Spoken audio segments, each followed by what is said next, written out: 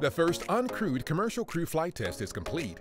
Vice President Pence calls the space station, and the station's next crew prepares for launch.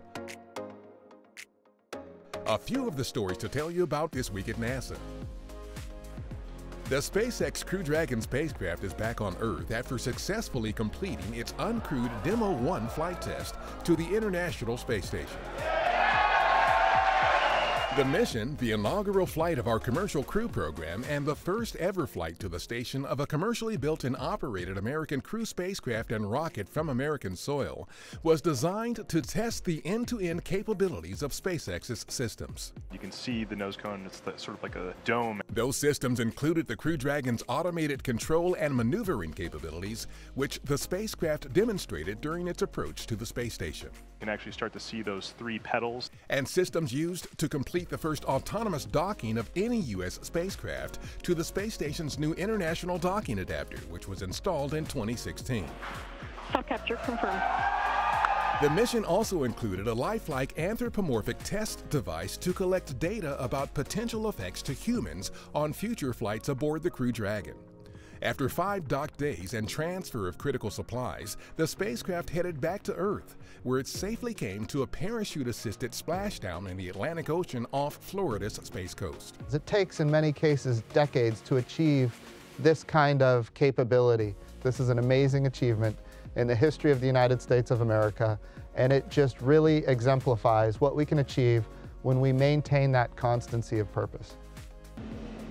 Uh, Mr. Vice President, it's an honor to speak with you this evening. Vice President Mike Pence visited our headquarters on March 6th, where he and NASA Administrator Jim Bridenstine talked with Expedition 58 crew members Anne McClain and David St. Jacques on board the space station about the success of the Demo 1 mission and the anticipation of continued success on future missions. This was a, a great week. It was inspiring to see the launch. It was actually more inspiring to see the docking and to see you all uh, uh open that door uh, and, and float into that uh, spacecraft, knowing that we'll, we'll very soon have American astronauts arriving at the International Space Station uh, in the same vehicle. Data from Demo 1, along with planned upgrades and additional qualification testing, will be used to further prepare for Demo 2 the first SpaceX flight test that will carry NASA astronauts to the International Space Station this summer.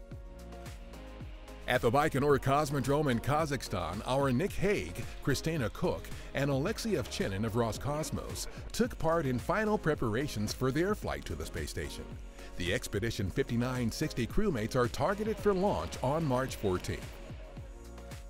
Our Kepler Space Telescope was retired in October 2018. But the very first planet candidate it discovered was only just confirmed as a planet, get this, nearly 10 years later.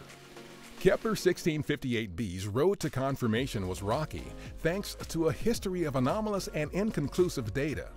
But a dedicated team of researchers used new software and spectroscopic data to unambiguously show it is indeed a planet. In fact, a gas giant planet known as a hot Jupiter that orbits very close to its star a fitting way to mark the 10th anniversary of Kepler's launch on March 6, 2009.